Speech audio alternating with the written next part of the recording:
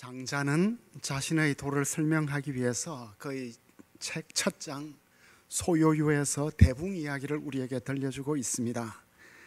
국 북극 바다에 있는 물고기 고는 그 크기가 수천리이다. 그는 변하여 길이가 수천리 되는 붕이란 새가 되었는데 태풍이 불면 바로 남극으로 날아간다.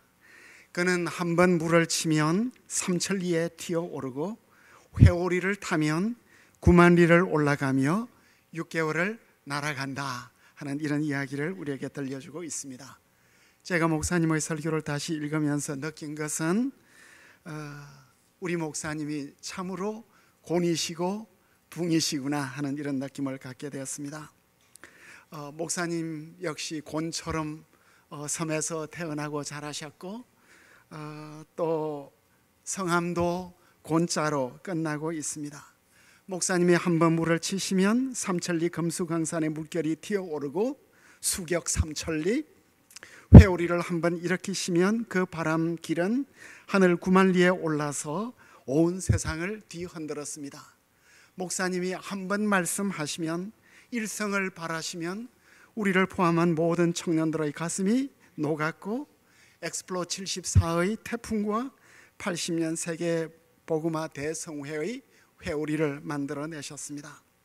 사실 목사님의 설교는 목사님께서 어린 시절에 거미를 만졌던 이야기를 통해서 잘 표현될 것 같습니다. 목사님께서 하신 말씀 가운데 이런 말씀이 있습니다.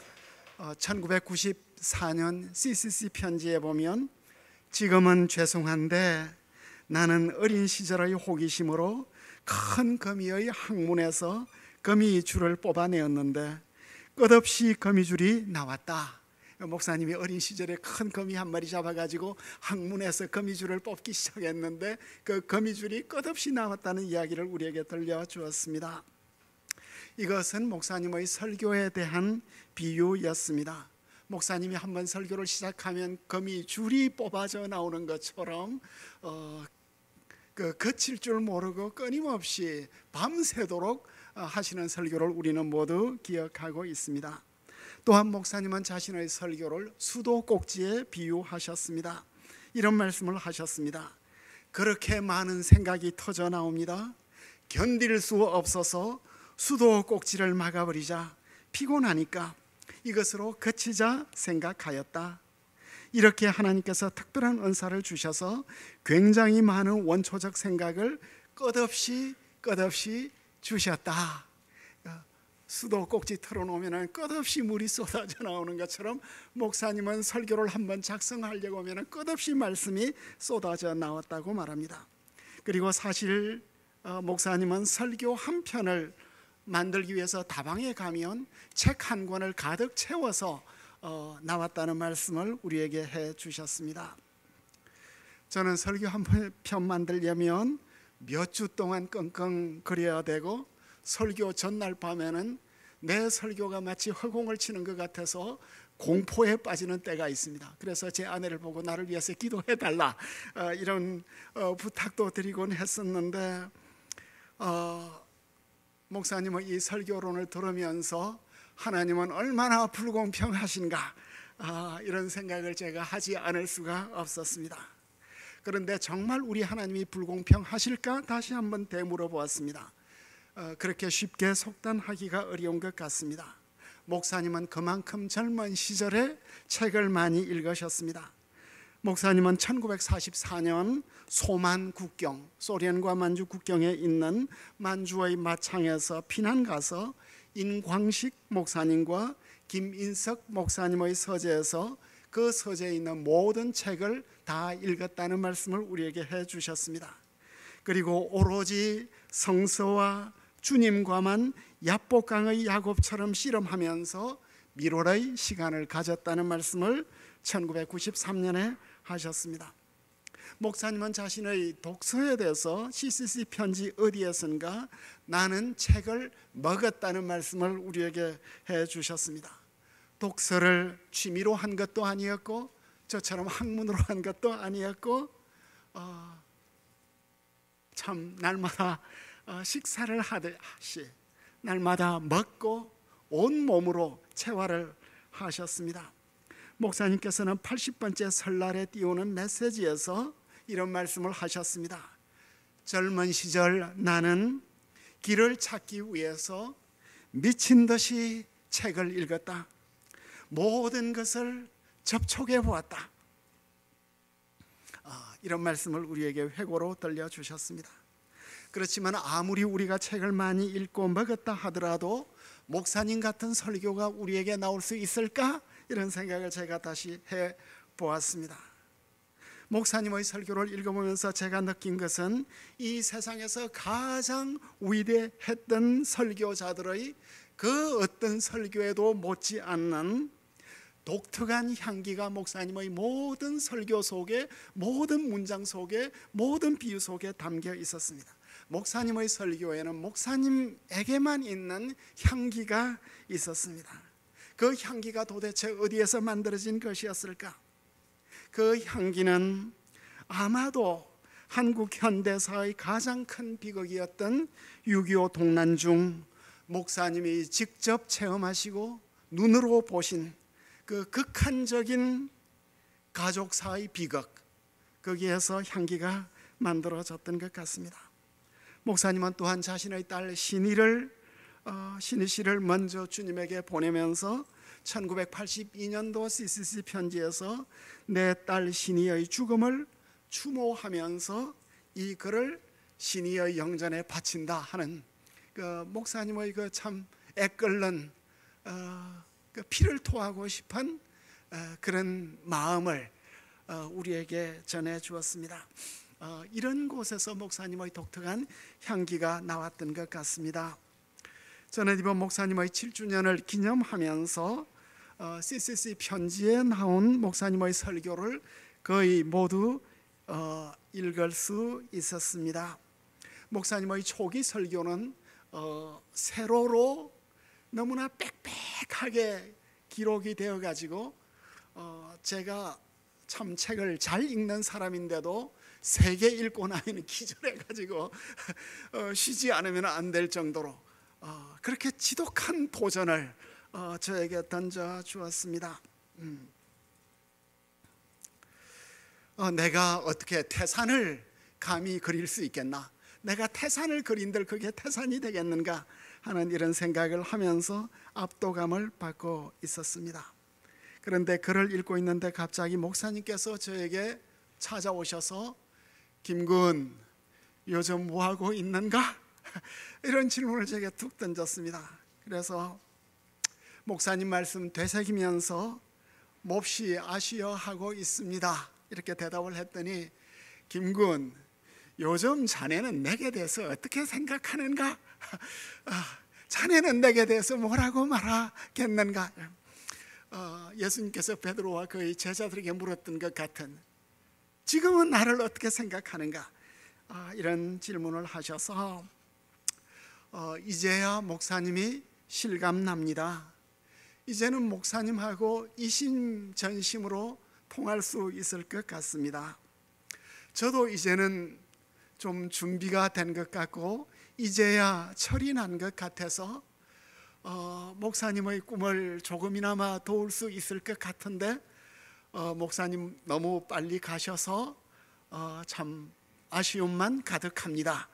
어, 이런 생각이 에, 들었습니다. 음.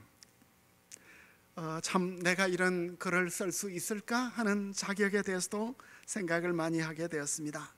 어, 저는 목사님에게 특별하게 어, 새 생명의 빛을 어, 빛을 어, CCC의 어떤 사람보다도 사랑의 빛을 많이 졌고 또 사명의 빛을 많이 졌는데 어, 목사님께 하나도 갚아 드린 것이 없는 것 같아서 어, 참 음, 마음이 어, 안타까움으로 가득 찼습니다. 음. 저는 어, 제한된 시간 가운데 이거를 썼기 때문에 목사님의 설교에 대해서 굉장히 잠정적인 이야기를 할 수밖에 없었고 앞으로 더 정확한 사료에 근거해서 더 좋은 글이 나올 수 있는 어떤 토대로서 이 글을 목사님에게 드리고 싶습니다. 첫 번째 김중곤 목사님의 설교의 특징이 무엇일까에 대해서 생각을 해보았습니다. 목사님께서 어느 글에서 이런 말씀을 하셨습니다. 어느 설교에서 초감각을 지닌 문인과 시인의 언어 속에서 하나님 없는 그 진실하고 민감하고 심각하고 처절한 고백을 들을 필요가 있다 하는 이런 말씀을 1981년에 우리에게 주신 적이 있습니다. 제가 볼 때는 목사님 자신이 초감각의 문인이고 시인이 아닌가 생각되어집니다. 또한 목사님께서는 이런 말씀을 하셨습니다. 위대한 시인은 창작을 하는 것이 아니라 영혼의 직관에 계시를 받는다. 이런 말씀을 하셨습니다. 이것은 시인 조지훈이 한 시에 대한 이야기였습니다. 조지훈 선생이 시는 천계다. 하늘의 계시이다. 시는 최초의 생명의 진실한 아름다움을 영원한 순간에 직관적으로 포착해서 이를 형상화한 것이라고 말씀을 하셨습니다. 목사님의 모든 설교는 범인의 감각을 뛰어나는 직관으로 심오한 언어의 차원에서 형성하여 아름다운 우리말로 다듬어 쏟아낸 것이라는 이런 생각이 들었습니다.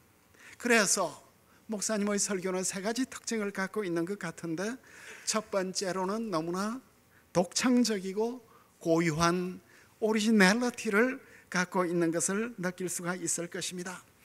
목사님의 설교는 우리 모두들에게 너무나 친숙해서 늘 그 설교가 그 설교 같은데 언제나 입만 열면 저런 설교를 하시는 것 같은데 교회의 역사 속에서 목사님 설교 같은 설교를 찾아볼 수 없을 것입니다. 저는 지난 한 해 동안 칼빈의 많은 설교를 읽었고 루터의 설교를 많이 읽었고 제가 한평생 설교를 할 때마다 스펄전의 설교 전집에서 그 본문에 대한 설교를 찾아서 읽어보는데 목사님의 설교는 그 어떤 설교와 비교할 수 없을 정도로 빼어나고 역사 속에 이런 작품이 없었다고 저는 감히 말할 수 있을 것 같습니다. 목사님의 독자적인 사색 속에서 목사님의 고유한 언어의 세계를 은하수처럼 창조해낸 것 같습니다. 그래서 목사님의 설교는 생생하게 살아있는 언어, 정선된 언어, 체화된 언어, 영혼 속에서 뿜어져 나오는 언어의 갤럭시를 만들어 가고 있습니다. 둘째로 목사님의 설교는 우리가 마치 그림을 보는 것처럼 선명합니다. 어느 설교에서 목사님은 혁명에 대해서 혁명은 화산처럼 폭발하고 전염병처럼 번져간다. 혁명은 광풍이요, 방화요, 홍수요, 발광이요. 그 열도가 죽이거나 죽일 수밖에 없는 피와 생사의 필요성으로 외인과 내 인을 내포하고 있는 모순 부정의 질적 변화 운동이다. 여러분들 모순 부정의 질적 변화 운동이라니 이게 어, 지금 우리 목사님은 무슨 변정법을 법을 하고 계시는가? 어, 대립에 대한 대립을 만들고 계시는가? 부정에 대해서 부정을 통해서 긍정을 하시는가? 다시 부정을 하시는가? 목사님은 해결의 변정법을 따르고 있는가? 아도르노의 변정법을 따르고 있는가? 목사님은 비유를 탁월하게 사용하시는 분이었습니다. 이렇게 말씀하십니다. 이기주의는 진드기처럼 모든 사람을 자기의 수단으로 생각하여 긁어 모으기만 한다. 이기주의는 뭐냐? 진드기처럼 착 달라붙어서 자기 것으로 만든다는 말씀을 하셨습니다. 그리고 또한 맷돌은 목사님의 사관인데 어, 하나님의 섭리에 대한 목사님의 생각인데 맷돌은 천천히 돌아가지만 모든 것이 가루가 되어 나오듯이 하나님의 뜻과 섭리와 계획은 조금도 후퇴하지 않고 다 이루어 간다. 하나님의 섭리를 맷돌처럼 비유해 주셨습니다. 그리고 목사님은 자신의 사역과 자신의 아이덴티티를 나룻배라고 우리가 나룻배를 탈 수밖에 없는 절실한 인생을 살지만 보내고 나면 남는 것은 그 허전함, 그 쓸쓸함. 자식으로 우리 모두를 다 키웠는데 다 떠나가 버리는 그런 그 느낌을 나룻배로 표현을 하셨습니다. 세 번째로 목사님의 설교는 시어가 운을 이루면서 아름답게 제시되고 있습니다. 어머니의 젖줄, 탯줄, 핏줄, 숨줄, 생명줄에서 신앙을 배웠다. 아. 때로는 목사님의 설교가 시가 되었습니다. 무덤이 인생의 마지막이라면 보람찬 인생, 불멸의 업적들 모두 모든 존재와 문화, 선과 악, 이 모두가 무에서 무로 돌아가는 무. 무에서 무로 돌아가는 무는 또 이 세상에 어디 있습니까? 전도서에도 없는 무에서 무로 돌아가는 무. 죽음의 바다에서 피어오르는 안개. 마지막 생명의 핵 하나까지 그리고 더 이상 죽을 생명이 없을 때까지 죽음의 북이 울리고만 있을 만유의 거대한 무덤, 삶의 도살장 밖에 무엇일까? 순수 삶은 틀 끝만치도 죽음을 모르고 순수 죽음의 개념에 있는 삶의 그림자도 허용 안 되는 백과 흑이다. 죽음은 삶에게 생소한 순수 모순이다. 모순 부정의 극치를 어, 우리에게 어, 보여주고 있는 것 같습니다. 목사님의 이 초기 설교를 보면은 제가 마치 단테의 신곡을 읽고 있는 것 같고 어, 괴테의 파우스트를 읽고 있는 것하고 똑같은 느낌이에요. 우리는 여기에서 마치 예수 칼럼의 원조를 이미 보고 있는 것 같습니다. 때로는 설교의 제목까지 둔과 가군을 만들고 있습니다. 그리스도의 대신성, 대속성, 대사성, 대신 죽으시는 대사성, 대생성, 다시 사시는 것의 의미와 신비. 이사야 53장에 대한 목사님의 제목이에요. 이사야 53장에 대한 수많은 카멘타리와 수많은 설교들 가운데 이런 제목을 2000년 역사 동안 유대인의 어떤 미드라시에도 이런 것은 볼 수가 없을 것입니다. 그러다 1973년에 제가 발견한 설교 제목 전 민족 신자와 운동을 위한 전 성도 총단합 총집중 저는 정예와 운동에 대한 제안. 아, 그래서 목사님 너무 하셔요. 아, 목사님은 지금 운을 남용하고 계셔서 우리를 지금 질식시키고 있는 거예요.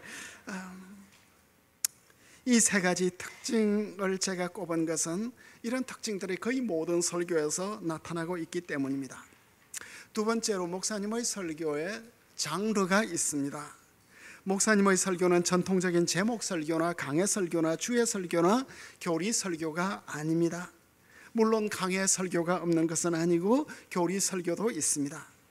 사람의 제일된 목적이라는 설교가 1979년에 나왔는데 이것은 목사님이 장로교 목사임을 우리에게 어, 여실히 드러내는 소요리 문답 1번 사람의 제일 된 목적이 무엇인가를 목사님이 설교 제목으로 가져오시고 또 설교로 해내셨습니다. 목사님은 절기 설교를 빠뜨리지 않았습니다. 절기 설교를 요즘 와서 많은 목회자들이 도입해 내고 있는데 목사님은 처음부터 성탄 주일, 신년 주일, 부활 주일 설교 그리고 가정 주일 8.15 해방 절기마다 중요한 절기마다 꼭 그 절기에 필요한 말씀을 전거하셨고 그 절기 설교가 이렇게 시대마다 다르게 전거되었습니다. 그리고 또한 목사님은 편지 설교도 어, 자주 하셨습니다. 특별히 나사렛 형제들에게 대한 편지는 목사님의 사상적이고 철학적인 설교를 담고 있습니다. 그리고 이 편지 속에 현대 정신하고 맞서 싸우는 모습이 나타나고 있습니다. 현대인의 실존적 심연과 예수의 노크 소리. 그러니까 목사님의 모든 설교는 현대인의 사상하고 싸우시는 사상적 철학적 설교를 우리는 보아야 될 것 같아요. 여기에는 1981년의 설교에는 무신론의 형태 일곱 가지를 제시를 하고 있습니다. 독단적 이신 적 이론 독단적 이론적 무신론, 회의적 무신론, 실천적 무신론, 전투적 살신적 무신론, 종교적 무신론, 비판적 무신론, 실천적 무신론.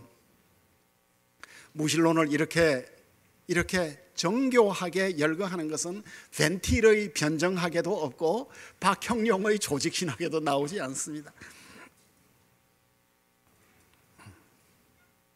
그렇지만 목사님의 설교에서 가장 두드러진 장르는 제가 볼 때 storytelling, narrative 설교예요.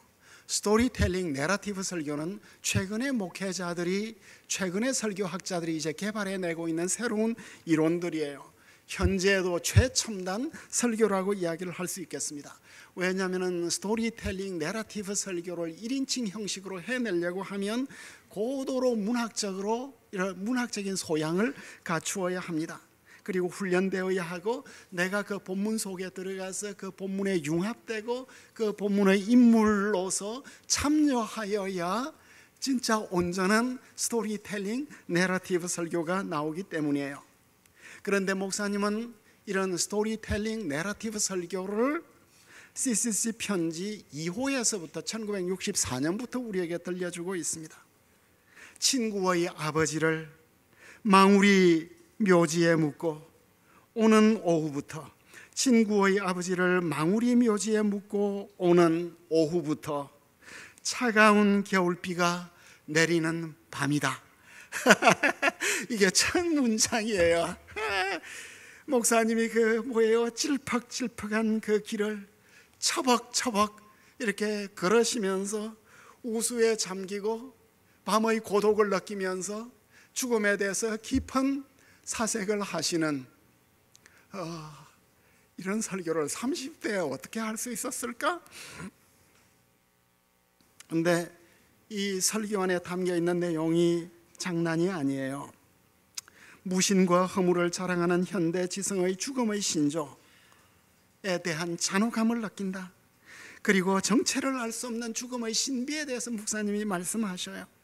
그리고 육신의 죽음과 영적인 죽음을 구분하고 죽음의 참된 비극을 드러낸 십자가 상의 그리스도의 죽음과 죽음에서 승리한 예수의 부활을 증거해 내셔요. 목사님의 storytelling narrative 설교에서 가장 두드러진 특징은 인물화예요. 등장 인물의 characterization이 탁월해요. 복음서에 나오는 베드로, 젊은 부자 청년, 막달라 마리아, 사마리아 여인들이 얼마나 멋지게 characterize 되어서 등장하는지 알 수가 없습니다. 특별히 베드로 이야기에서 1967년 설교를 보면 베드로는 죄의식이 깊고 자기 주장이 강하며 강한 액션, 겁쟁이, 변덕이 심하고 그런데도 약한 데가 있었다. 베드로는 간사하지 않고 야심은 없고 담백하며 저처럼 이용당하기 쉽고 목사님처럼 이용당하기 쉽고 불면증에 걸려본 적이 없다. 목사님과 달리 소같이 억센 신앙의 노동자이다. 그는 인문 교양은 없어도 인간 바탕이 소박하고 순수하고 그래서 호감이 가는 자이다. 이렇게 성격을 묘사하고 있습니다. 우리는 한 인물을 어떻게 그려낼 수 있을까요? 그 한 인물의 모든 삶과 역사와 그 언어와 이런 것들을 다 모아야 인물화가 되는 것입니다. 말 한마디를 가지고 글 하나를 가지고 인물화를 만들 수가 없습니다. 그만큼 목사님은 베드로하고 깊은 만남을 가진 것입니다. 그래서 이 설교를 하시다가 갑자기 목사님이 베드로하고 대화를 해요. 여러분들 성경 읽다가 등장인물하고 대화를 해보신 적이 있습니까? 목사님은 대화를 1964년에 이미 하셔요. 뭐 하시는 분인지 난 이해를 못하겠어. 음, 어떻게 성경 인물하고 대화를 하실까? 이래요. 고마운 베드로, 신자의 원인 베드로, 당신의 어리석음으로 우리는 지혜를 배웠습니다. 당신이 수치를 당함으로 우리는 영광을 누립니다.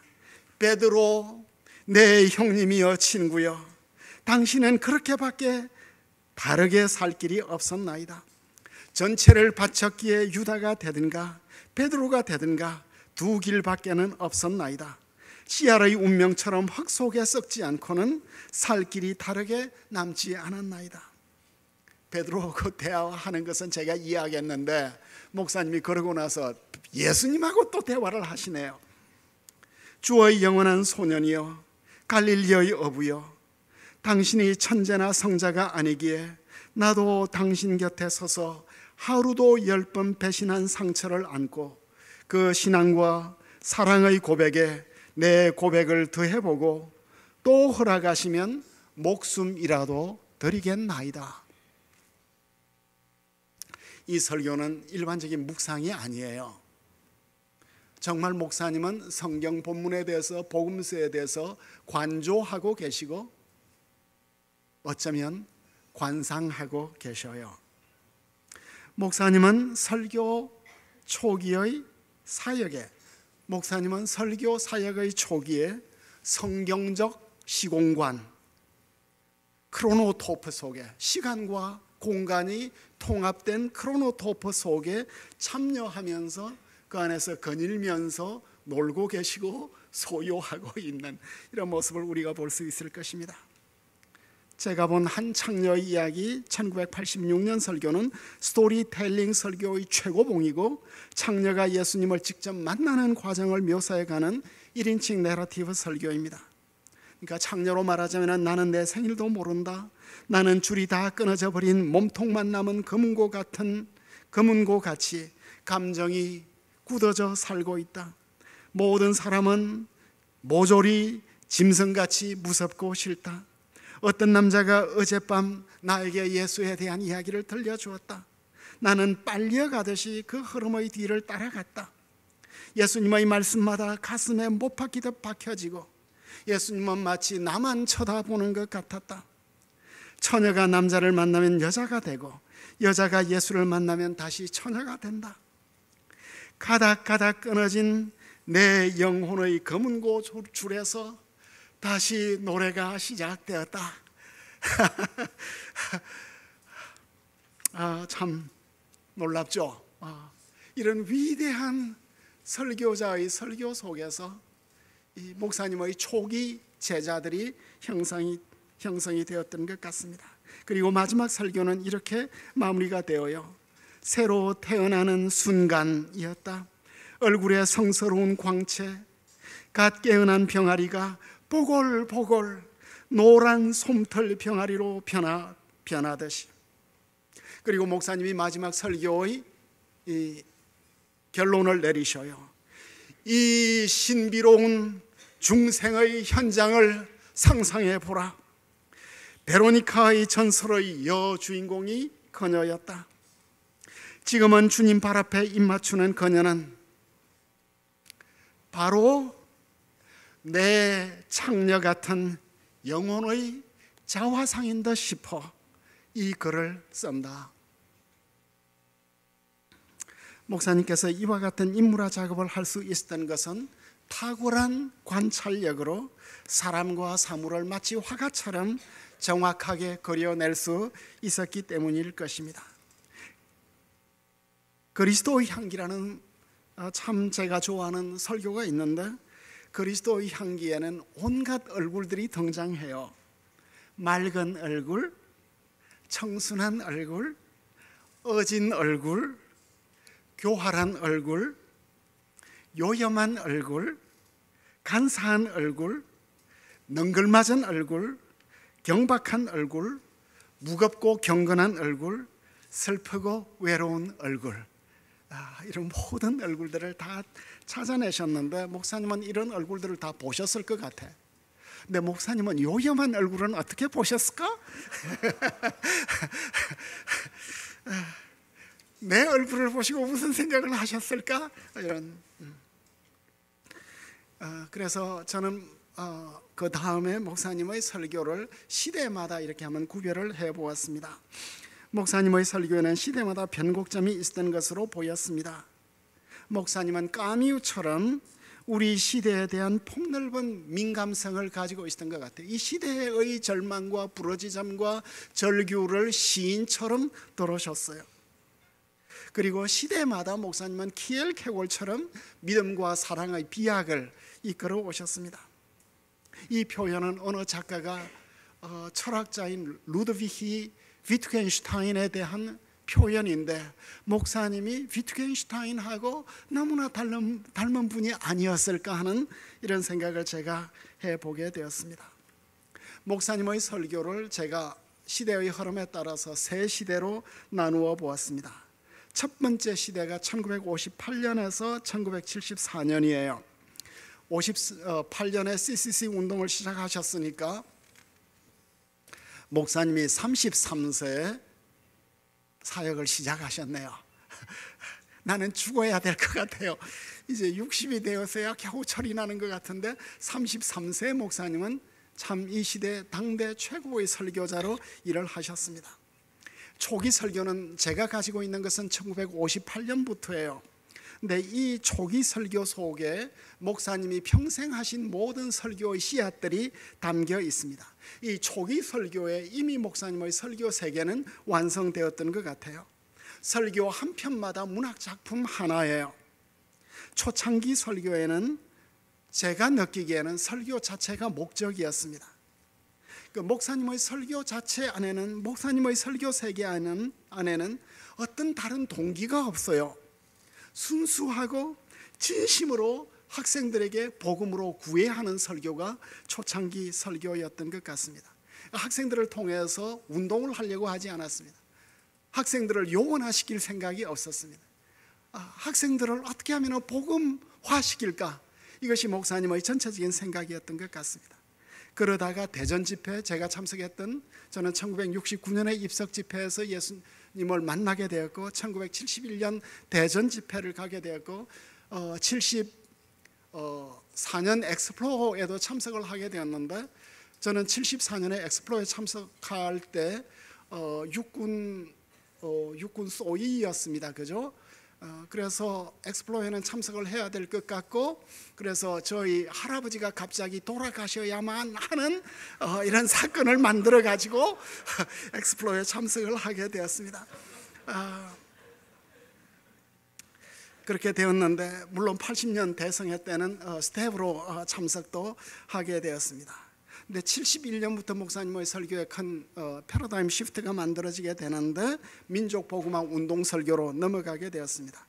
근데 물론 민족 복음화에 대한 꿈은 어, 1962년 삼각산 금식 기도에서 이미 다 만들었다고 말씀을 하고 있습니다. 이것이 여러 번 어, 반복되고 있습니다. 초기 설교의 첫 설교가 사랑의 송가예요. CCC 편지 1호가 사랑의 성가예요. 아, 목사님이 왜 사랑의 성가로부터 시작을 하셨을까 하고 1호를 읽어가는데 이건 보니까 설교가 아니었고 고린도전서 13장에 대한 목사님의 의역이었습니다. 마치 유진 피터슨의 메시지 바이블처럼 목사님은 성경을 자신의 언어로 번역을 해내신 거예요. 그리고 13절에 대해서 목사님은 이렇게 번역을 하셨습니다. 우리 안에 우리를 위한 하나님의 사랑, 그 하나님의 사랑에서 생기는 하나님과 사람에 대한 사랑, 하나님과 하나님의 영원한 구원에 대한 소망, 그리스도 안에서 하나님을 바라고 기다리는 나를 맡기는 믿음, 이 세 가지는 항상 있을 것이다. 이렇게 의역을 하고 있습니다. 그리고 마지막 결론은 결국 크리스천의 삶은 사랑이다. 사역 이전에도 이후에도 사랑일 것이다. 이런 결론을 내렸습니다. 왜 목사님은 첫 편지에서 사랑의 송가를 우리에게 들려주셨을까? 아마 오랫동안 고심하셨을 것 같아요. 창세기 1장 1절을 내가 뭐라고 할 것인가? 그죠? 중요한 선택이었을 것입니다. 목사님의 아이덴티티, 목사님의 믿음의 핵, 목사님 사역의 중심 방향은 결국 사랑이었던 것 같아요. 목사님은 6.25 동란 중에 아버지와 아내가 눈앞에서 잔혹한 죽음을 당하는 것을 목격했습니다. 그리고 기도 중에 살인자들에 대한 분노와 정오의 절정에서 자신의 의식에서 나오는 설교, 어, 자신의 의식에서 나오는 기도와 자신의 의식 속에서 형성되는 언어와 전혀 다른 기도가 목사님에게서 흘러나왔습니다. 하늘의 언어로 방언으로 그들을 사랑하는 그러니까 내 아버지를 죽이고 내 눈앞에서 아내를 죽이는 그들에 대한 인간 정오심과 복수심의 극한 상황에 있는데 목사님이 하나님의 사랑을 맛본 거예요. 초월적인 사랑을 목사님이 거기에서 변해버린 것입니다. 제가 볼 때는. 그리고 사랑의 기도를 드린 것입니다. 그리고 그들이 처형당할 수밖에 없는 현장에 오셔서 내가 그들을 용서한다는 말씀을 직접 하셔서 그들을 어, 다시 살 수, 살아날 수 있는 기회를 주셨습니다. 음. 그래서 목사님의 설교가 민족 포그마가 중심이 아니라 저는 사랑이 목사님 설교의 중심이었다고 믿습니다.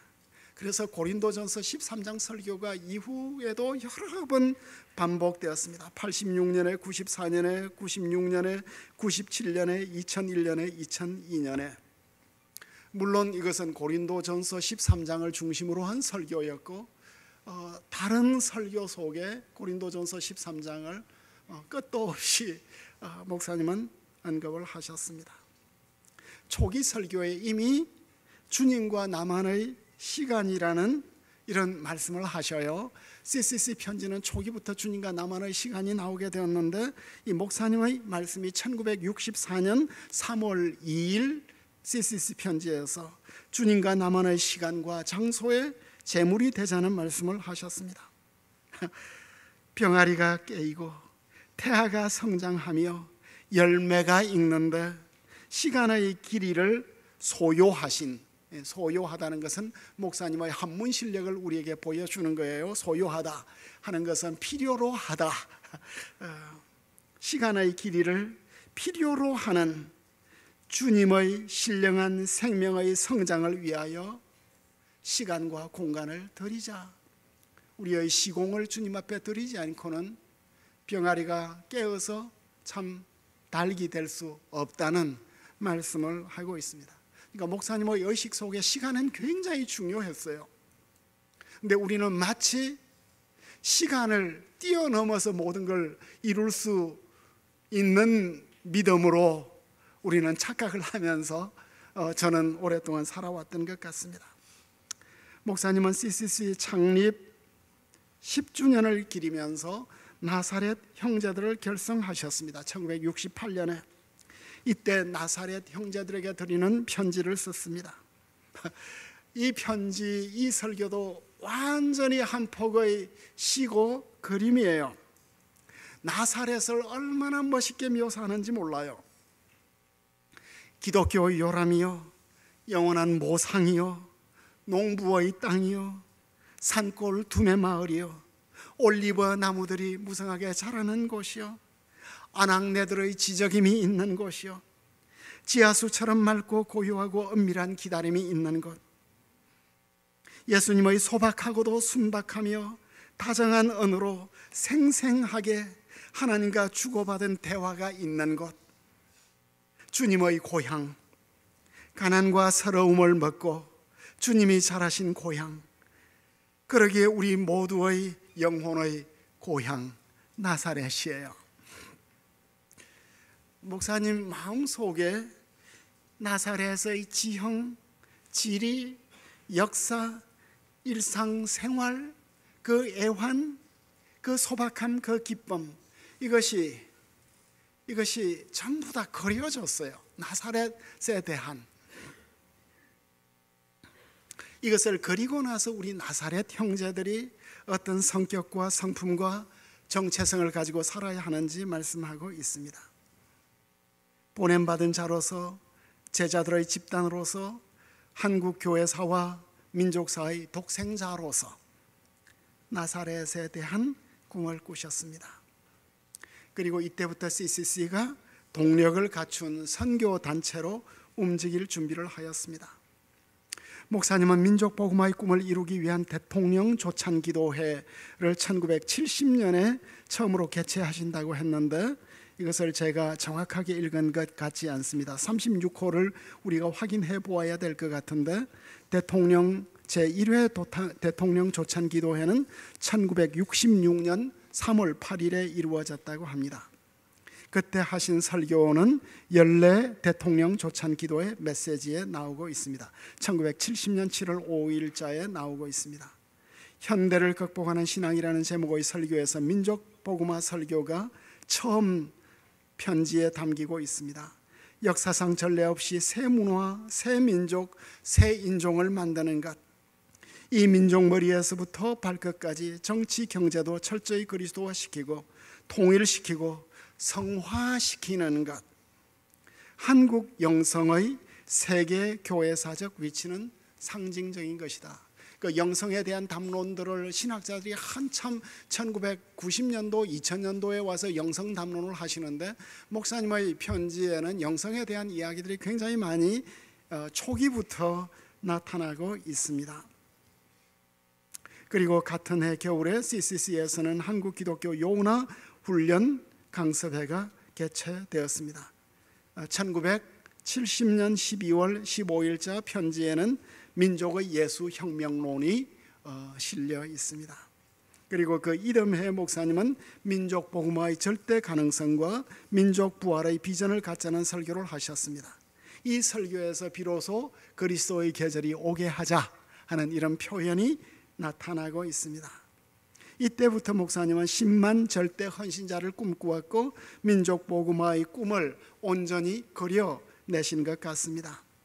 목사님의 초기 설교는 민족 복음화의 꿈으로 마무리되고 있습니다. 1973년에는 민족적 축복의 성서적 원천이라는 말씀을 하셨습니다. 이 1월 1일자 설교인데 왜 이 설교가 중요하냐면 목사님이 처음으로 민족 복음화에 대한 성경적 근거가 있는가 민족 복음화 운동의 성경적 근거를 1973년에 이제 제시를 하셨습니다. 그리고 나서 제6회 연례 대통령 조찬 기도회를 개최하시고 그때 그 유명한 정신사의 강은 어디로 흐르는가 하는 설교를 들려주셨습니다. 이 정신사의 강은 어디로 흐르는가를 여러분들이 다시 한번 읽어보십시오. 목사님이 첫 서문은 하이네로 시작을 해요. 황금빛 나는 별 저편에는 누가 살고 있는가? 황금빛 빛나는 빛나는 별 저편에 누가 살고 있는가? 그래서 거기에 참석했던 모든 국회의원들이 아 어떻게 저 목사님은 저렇게 귀한 얼굴을 가지고 저렇게 말랑말랑한 어, 말씀을 하시나 감미로운 설교로 시작을 하셨는데 이제 한 걸음씩 들어가면서 서구의 핵심적인 시인들, 소설가들, 사상가들, 문학사, 문화사, 정치사, 경제사, 종교사를 모두 동원해서 굽이 굽이 흐르는 사상사의 강물을 거대한 스케일로 펼쳐요. 아마 박 대통령께서 이때 녹아버린 것 같아요. 목사님에게. 아, 그리고 마지막 목사님은 역사의 절정과 절정과 정점을 짚어가면서 나갈 길 없는 인류 역사의 절망과 민족 복음화된 소망을 우리에게 강하게 대비시키면서 설교를 마무리하고 있습니다. 두 번째로 정동 채펄 설교가 1976년에서 어, 89년인데 CCC 편지에서는 78년에 다시 어, 복간이 되었습니다. 그래서 정동 설교는 1976년에 시작되지만 우리가 가지고 있는 목사님의 정동 채플 설교는 1978년부터 이루어졌습니다. 어, 이 우리 편지에는 엑스플로 74 이후에 상당한 공백이 생긴 것을 우리에게 보여주고 있습니다. 목사님의 설교인 전민족 신자와 운동을 위한 메시지가 53호로 1973년 7월 1일에 마치고 정간되었고 인류 최후의 혁명과 함께 다시 복간되었습니다. 54호에서 1978년 2월 15일에 엑스플로 74는 한국 교회의 부흥과 세계 선교의 비전에 결정적인 기여를 했습니다.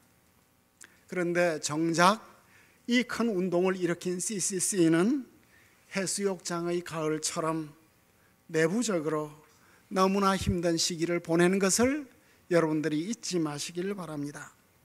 해수욕장의 가을은 목사님께서 쓰신 표현인데 다른 상황에서 표현했지만 사실 CCC의 표현이 해수욕장의 가을처럼 요즘 요즘 해수욕장의 가을은 낭만이 넘치지만 목사님 당대의 해수욕장의 가을은 그렇게 썰렁할 수가 없었습니다.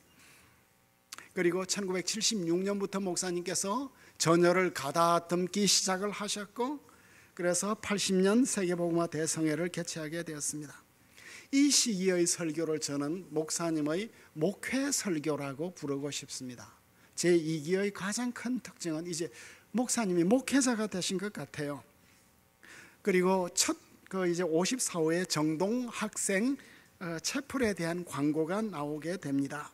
목사님은 주일 체포를 통해서 내부적인 역량의 결집을 결심하셨던 것 같습니다. 물론 이 시기에도 민족복음화 세계선교에 대한 설교가 여러 번 반복되고 있습니다. 78년과 81년과 83년과 88년에 아, 그렇지만 전체적인 흐름을 보면 마치 목회자가 성도들을 양육하듯이 그리스도인의 삶에 대한 기초적이고 포괄적인 교육을 목사님이 하고 계십니다. 목사님은 이제 거대 담론 대신에 목회자처럼 다양한 신앙의 주제들을 섬세하게 가르치는 교육적 설교를 하고 계십니다. 그래서 강해 설교를 여러 번 해내십니다. 그리고 읽어보면 아 우리 목사님에게 이렇게 탄탄한 성경 신학적 기초가 있었나 그러니까 성경 신학을 가지고 설교를 하셔요. 창세기에서 계시록까지 핵심적인 역사적 흐름과 신학적 흐름을 결합해서 설교를 해 나가고 있습니다. 그리고 놀랍게도 성화를 굉장히 많이 강조하셨고 사람 됨을 효도를 많이 말씀을 하셔요. 그래서 제가 이 설교 이 시대의 설교를 주제별로 분석해 보았더니 믿음 여러 개 설교가 믿음론이고 기도에 대해서 그리고 금식에 대해서 회개에 대해서 감사에 대해서 충성에 대해서 언어 생활에 대해서 그리고 또 우리의 자유에 대해서 우리는 주로 CCC 오면은 헌신만 배우는데 자유에 대해서 목사님이 말씀하시고 참 중요한 말씀을 많이 하셔요. 성령과 기독교 자유 선언이라는 말씀을 하십니다. 그리고 크리스천의 우정에 대해서 말씀하시고 또 사랑과 결혼에 대해서 말씀하시고 가정과 효도에 대해서 말씀하시고 이 가정과 효도에 있어서는 토착화 문제를 말씀하시는데 어, 목사님이 너무나 보수적인 분이에요. 우리는 혁명적인 분이라고 생각을 하는데 삼강 오륜 말씀하시고 맹자, 공자 말씀 많이 하셔요. 그리고 우리 아버지 어머니 생일 되면 선물도 바쳐야 되고 갖다 드려야 되고 목사님 우리 부모님에게 가장 알맞는 선물을 갖다 드리고 또 산소에서 어, 산소에도 가야 된다고 말씀을 하시고 그러니까 이제는 학생들이 참 그 사람이 되어야 되겠다는 생각을 많이 하셨던 것 같습니다. 그리고 교리에 대해서 예배에 대해서 찬송에 대해서 저는 시편을 평생 어, 참 이렇게 만지면서 살아왔는데 목사님이 찬송에 대해서 하신 말씀이 어, 너무나 멋진 말씀이 많이 있었습니다. 그리고 실천적인 사랑에 대해서 그리고 무엇보다도 품성과 인격에 대해서 그리고 리더십에 대해서 그리고 1981년에 창조과학회를 만드신 것 같습니다. 그래서 과학과 창조과학에 대해서 말씀을 하시는데 1981년 이 과학과 성서와 과학적 종말론을 읽어보시면 목사님의 그 과학에 대한 그 독서와 조회가 얼마나 깊은지 몰라요.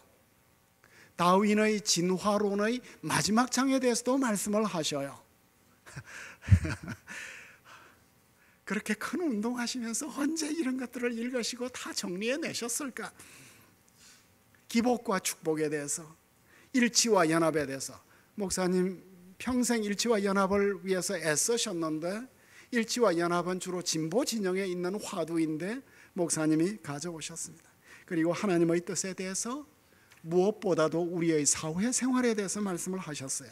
1985년, 86년, 87년에 사회 생활에 대한 말씀이 많으셨는데 1987년 1월 14일에 박종칠 군이 박종철 어, 군이 어, 뭐예요? 고문치사 사망을 당해서 어, 캠퍼스가 어마어마하게 고통스러웠을 때 목사님께서 이 사회 설교를 많이 하셨습니다. 이 시기에도 깊은 목사님의 묵상이 설교로 연걸어져서 가슴을 적시는 때가 많습니다. 십자가 상의 치료내는 다음과 같은 말씀이 어, 서문에 나오고 있습니다. 일곱 마디 말씀, 십자가 상의 최후의 설교 또는 최후의 기도.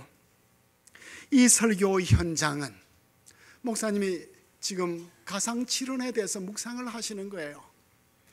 이 십자가에 달린 예수님께서 일곱 마디를 하시는 것에 대해서 목사님이 묵상을 하시면서 이렇게 그림을 그려내셔요. 이, 이 말씀이 바로 설교요, 예수님의 기도인데 이 설교가 어떤 설교냐?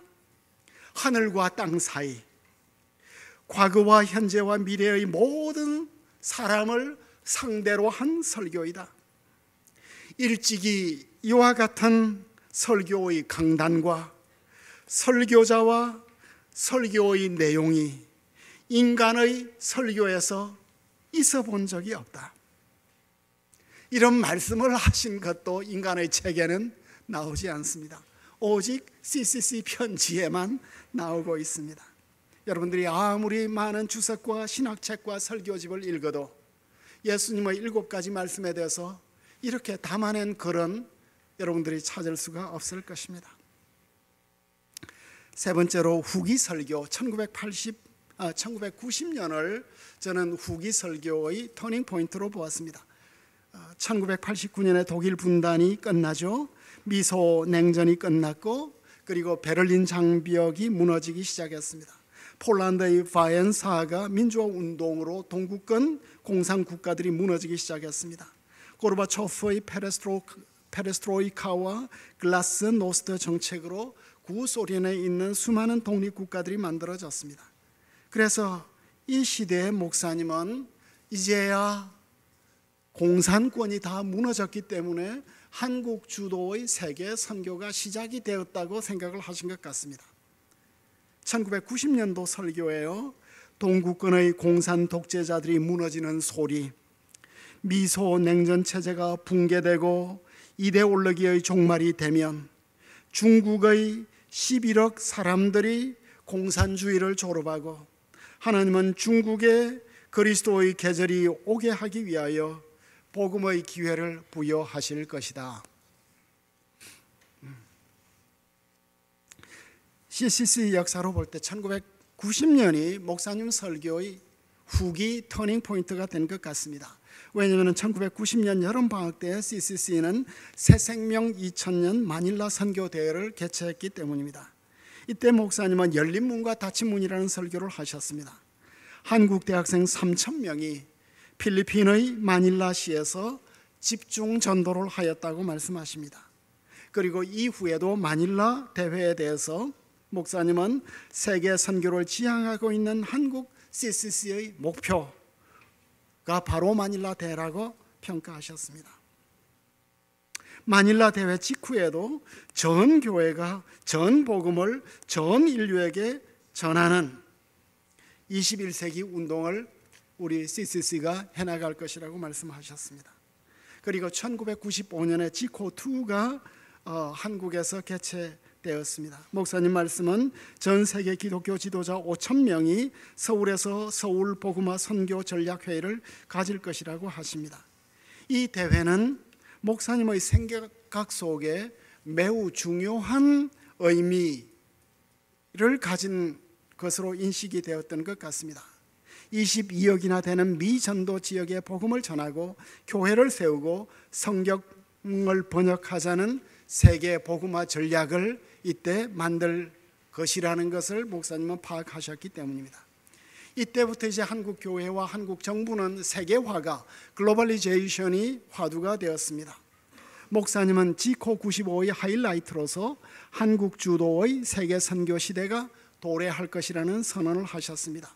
10만 선교사 파송과 제사장 나라 한국이라는 말씀을 하셨습니다. 이 시기 목사님의 신학 사상이 완전히 자리를 잡습니다. 물론 목사님의 신학 사상은 이전에도 다 잡혀 있었겠지만 이 시대의 신학 사상을 로잔 카비넌트, 로잔 언약으로 완전히 이렇게 일치를 시켜 버렸습니다. 목사님이 이 시대에 사용을 자주 사용을 하시는 전복음, whole gospel 그리고 전교회 whole church 그리고 전 인류 whole world를 전하기 위한 운동이다. 이런 표어를 목사님은 계속해서 사용을 하셨습니다. 그렇지만 제 3기 목사님의 설교를 한 걸음 더 깊이 들어가서 살펴보면 초기의 전도 중심의 설교, 중기의 목회 중심의 설교에서 실천적인 사랑의 운동으로 전환하고 있음을 우리는 알 수 있을 것입니다. 이 시기에는 사랑의 실천이 신학화되고 실천으로 구체적인 결실을 맺는 것을 우리가 알 수 있습니다. 그래서 91년의 사랑의 혁명 운동, 96년의 한 손의 복음을 이 사랑의 혁명 운동과 이 복음 운동이 여러 번 2002년까지 아, 나타나고 있습니다. 2003년에 예수 혁명, 사랑의 혁명이라는 이런 제목으로 말씀을 하셨는데 목사님은 한국 민족사의 제3의 운동인 사랑의 육화 운동을 벌여야겠다. 사랑을 이제는 몸으로 실천하는 운동을 벌여야겠다고 말씀하셨습니다. 이 모든 사랑의 운동은 목사님의 백문일답이라는 화두로 마무리하셨습니다. 백문일답이라는 화두는 목사님의 설교의 세계에서 1994년에 이미 잉태되었습니다. 1994년 설교에서 언어가 하나밖에 없는 언어 성자의 이야기를 생각해 본다. 무슨 말을 물어도 그의 대답은 하나뿐 백문일답의 사람이라고 할까? 아, 언어 성자를 백문일답의 사람으로 이렇게 표현하셨습니다. 그리고 목사님은 80번째 설을 맞이하시는 날 설에는 고향에 복음의 나무를 심으세요라는 2005년 인터뷰를 하시는데 제자들에게 백문일답의 삶을 살라고 부탁하십니다. 인생 80에 새로운 길을 떠난다. 청춘은 인생의 한 시기가 아니라 마음의 상태이다. 80 성상이 흐르면서 육신은 노쇠해졌지만 마음은 여전히 주님을 처음 만났을 때와 같이 설렌다.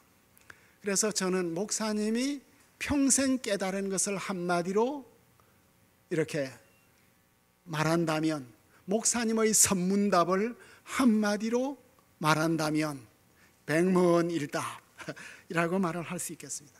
그러니까 백문일답은 목사님에게 있어서 도예요. 우리에게 백문일답은 아직도 말이에요. 그러니까 이 말하고 도하고 이 사이에 어마어마한 거리가 있다는 것을 우리가 인식하지 못한다면 목사님이 말씀하신 백문일답을 우리는 제대로 어, 채워가지 못할 것이라고 생각합니다.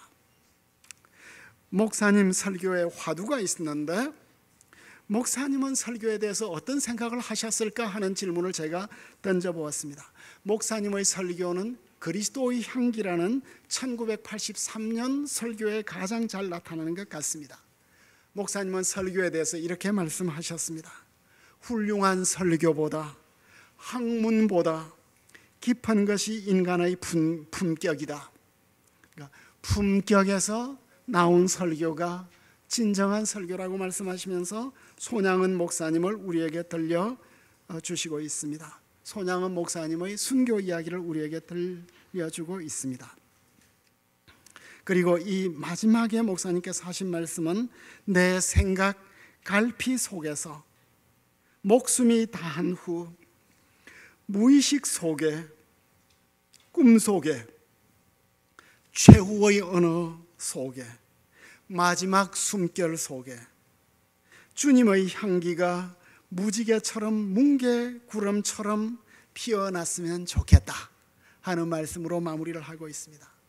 그럼 목사님의 목사님에게 있어서 설교는 무엇이었을까요? 제가 볼 때 목사님에게 있어서 설교는 의식과 무의식 세계 속에서 형성된 수많은 생각과 언어에서 언어에서 우리의 인품과 인격으로 걸러낸 최종적이고 최후의 말씀을 뽑아내어 전하는 것이 아닌가 이렇게 해 보았습니다. 제가 정의해 보았습니다. 피곤하시죠? 그럼 마지막으로 목사님 설교의 화두를 제가 정해 보았는데 목사님 설교의 화두는 정신사의 강은 어디로 흐르는가로 제가 잡아 보았습니다. 최고의 화두.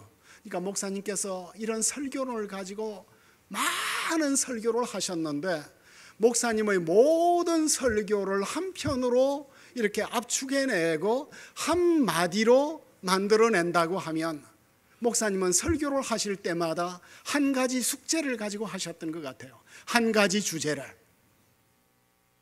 그게 무엇일까요?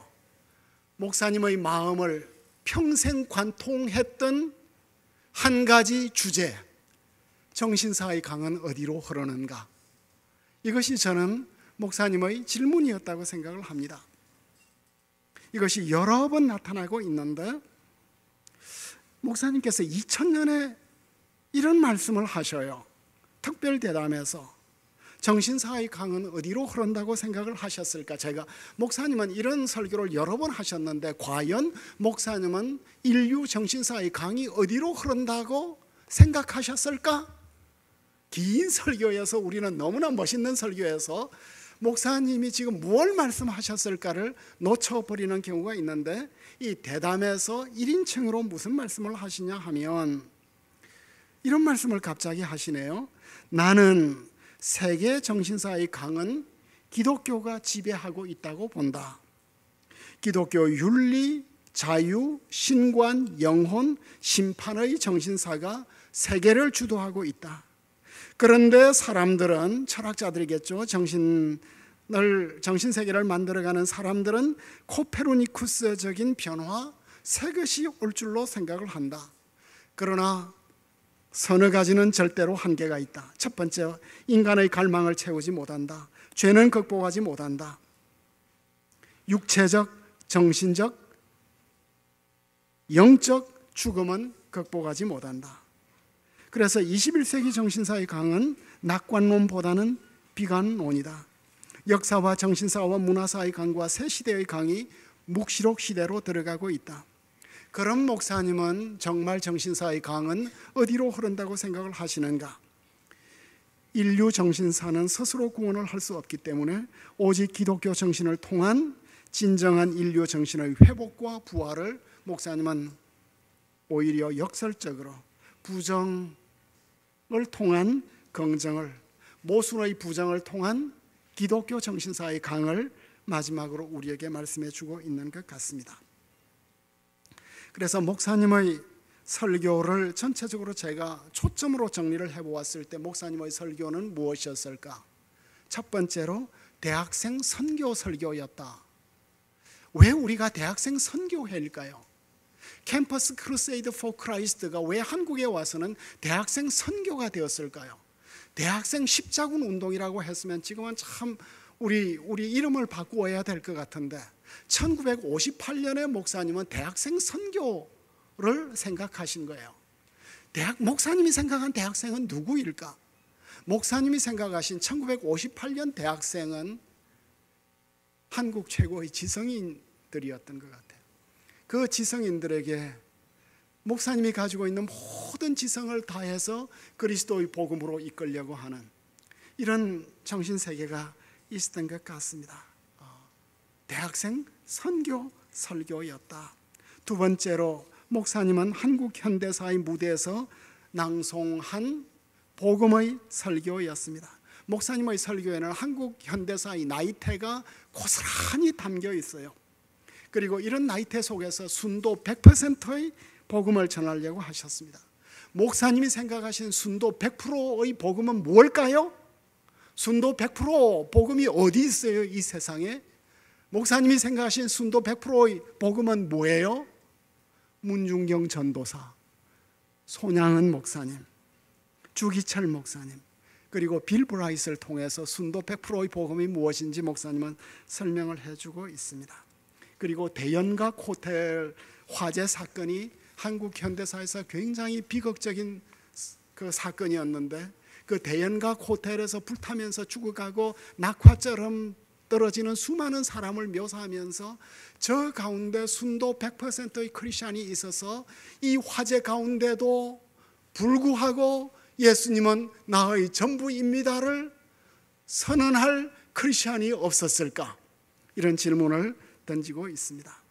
그리고 제가 느낀 것은 목사님은 인류의 지성사의 무대에서 낭송한 복음의 묵상이라고 생각되어집니다. 목사님은 늘 인류 지성사, 문화사, 문명사 전체를 붙들고 실험하신 분이에요. 헤브라이즘을 말씀하시고 2000년에 목사님이 헤브라이즘을 말씀하시고 헬레니즘을 말씀하시고 중화 사상을 말씀하셔요.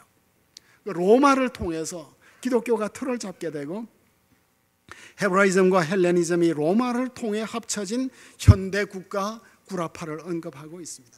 그리고 중국이 큰 바다와 같다고 말씀하셔요. 그러니까 목사님이 내가 한평생 살면서 인류의 문명사를 어떻게 다 소화하고 정리를 해서 여기에서 복음을 전할까 하는 어, 야곱의 실험을 목사님이 해 오신 것 같아요. 그래서 온갖 철학자, 문인, 시인들이 다 등장하고 있습니다. 그리고 목사님은 역사와 시대의 변화에서 종말론적 미션 공동체를 만드는 비전너리 설교를 하신 것 같습니다.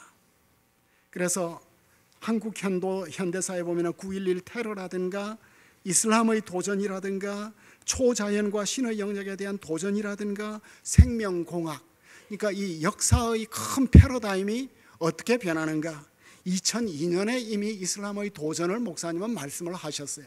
굉장히 예언적이에요. 그리고 우리가 10만 명의 헌신자를 참 키워서 온 세계에 보내겠다는 말씀을 하셨습니다.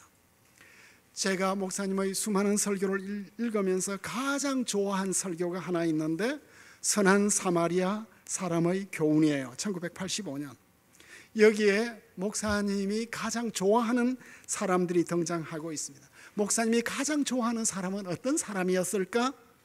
친구의 허물을 덮어주는 사람, 성 안 내는 아내, 자녀에게 성 안 내는 남편과 아버지, 성 안 내는 것으로 제자의 마음에 상처 안 주는 스승, 성내지 않고 온화한 말로 설교하는 목사님, 친구에게 성난 말로 감정 속에 평생 뽑을 수 없는 화살을 꼽는 일을 안 하는 사람, 맨발의 성자 이연필 선생, 함석한 선생의 아침길을 가로지르지 않으려고 가던 길을 멈추고 서 있는 아무 아주머니의 고마운 친절, 내가 6.25 때 인민재판을 받고 개처럼 끌려가는 길을 어깨로 부축하며 위로해 주던 인민자위 대원, 녹두적을 써주던 공산당 마을 아주머니, 도망가 숨으러 간 집에서 발각된 나를 밀고 하지 않았던 아주머니, 이런 사람들이 아, 목사님이 가장 좋아하는 사람. 아, 그러니까 목사님이 전하고 싶었던 복음은 인간화. 우리가 우리가 참 사람이 되는 이것이 아니었는가? 제가 생각했던 목사님하고 상당히 다른 이런 모습을 우리에게 보여주고 있습니다. 저 이 마지막 생각, 우리가 우리 시대에 감당해야 될 과제가 무엇일까? 첫째로 저는 목사님의 설교 주산을 다시 한 번 더 온전한 형태로 정리를 하면 어, 참, 참 좋겠다 하는 생각을 해보게 되었습니다. 스펄전의 메트로폴리탄 태브네컬 펄피처럼 연도별로 설교가 다 정리되면 우리 한국 교회와 세계 교회의 큰 유산이 되겠다는 생각을 하게 되었습니다. 그리고 목사님의 마지막 꿈이 무엇이었을까? 목사님의 마지막 꿈은 교육 공동체였습니다. 그 한국 성서 학교 Korean Bible Studies 혹은 순 Bible Studies를 꿈꾸셨습니다. 그래서 민족 복음화의 오랜 꿈으로 이것을 만드셨고 성서의 자원을 이 학교를 통해서 개발하자 어, 이런 말씀을 하셨습니다. 어, 이꿈 속에 저를 키우셨는데 제가 요나처럼 도망쳐 버려서 아, 목사님의 꿈을 이루어 드리지는 못했고 이제는 철이 들어서 목사님의 꿈을 좀 이루어 드리고 싶은데 어, 참 주님께서 CCC를 통해서 저희 남은 어, 인생을 통해서 이 목사님의 꿈을 어떻게 이루어 드릴까 하는 이런 질문을 가지고 제가 어, 이 목사님의 설교에 대한 묵상을 마무리하게 되었습니다. 감사합니다.